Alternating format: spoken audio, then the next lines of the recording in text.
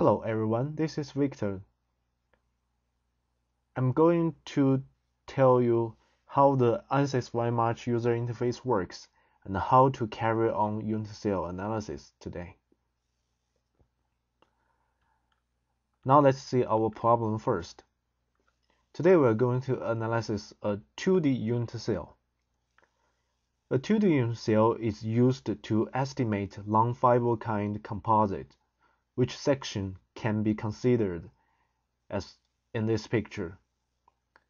There is circle fiber in the center of the square matrix. Now, let's go back to our interface and to see how to carry on the uh, analysis. First, in, we have to build our unit cell. In preprocessor,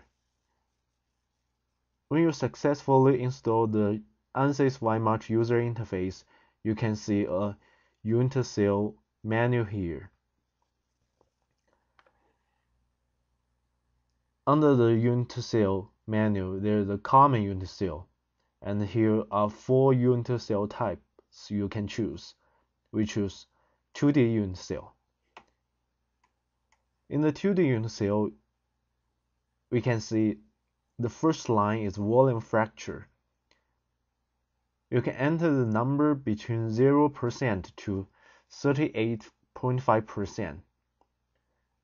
The volume fracture means the percent of the fiber volume of the whole volume. Here the initial value is 40%.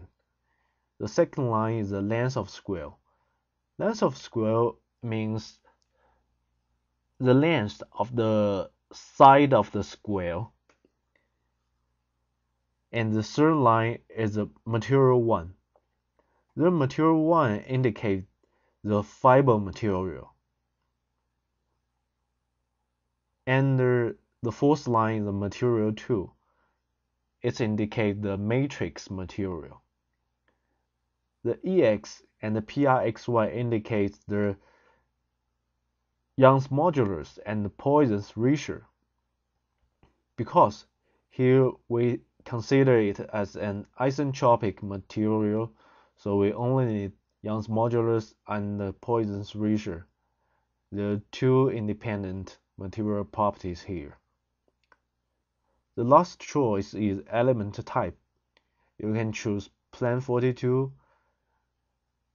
for the four nodes plan element or plan 82 A nodes plan element. If you want to find some help, you can click help here.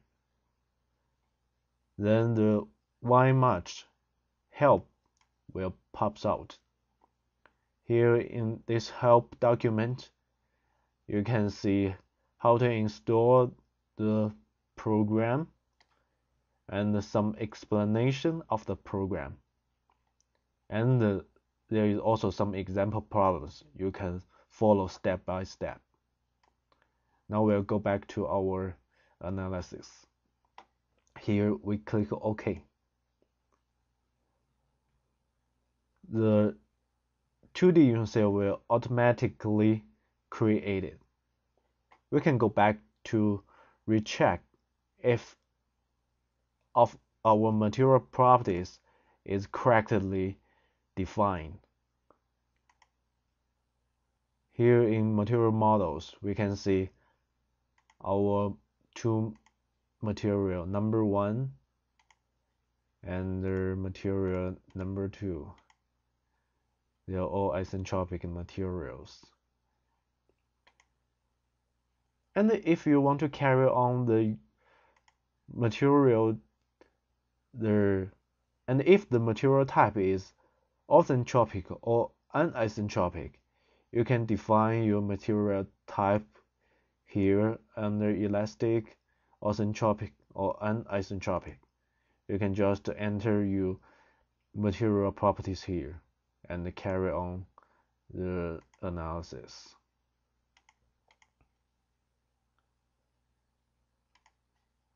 Here we go to recheck if our fibers are numbered with number 1.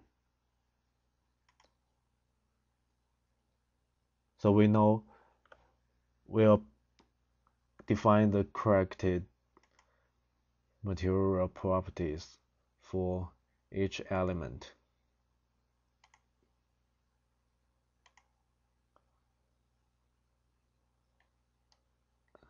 So in the center circle, you can see the number one, and out of the circle, the matrix, you can see the number two. So the definition is all correct. The next step, we're going to solve the effective properties. We'll go to solution menu and click microanalysis. We have to define an analysis type first. The first choice is elastic analysis and thermal analysis. We carry on an elastic analysis here. The second choice is carry on effective property analysis and recover analysis. Please note here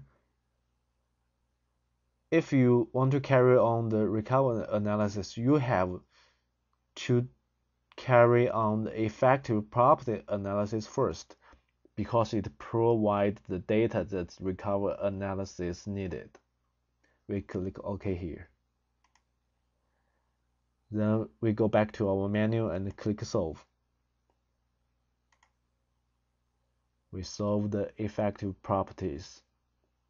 The solution is done then the effective pro properties pops out and you can use these effective material properties to carry on your whole model analysis.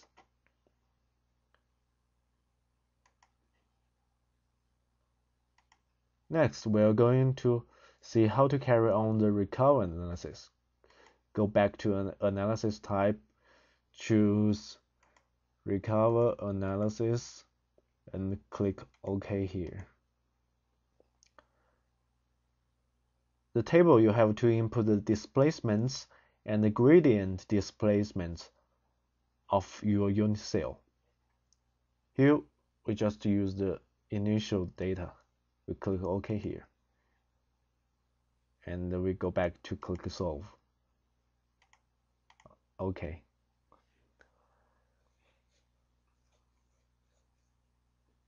The recover analysis can recover the inside of the unit cell. It can can plot the displacement or the strength of the unit cell.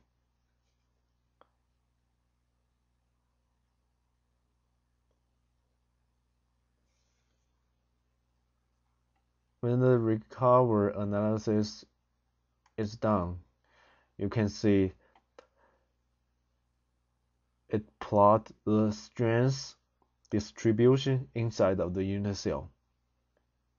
If you can remember that we just input our displacement displacements and the gradient of displacements is unsymmetric. You can see here that our strength inside of the unit cell is unsymmetric too. Hope this show was help. Thanks for watching.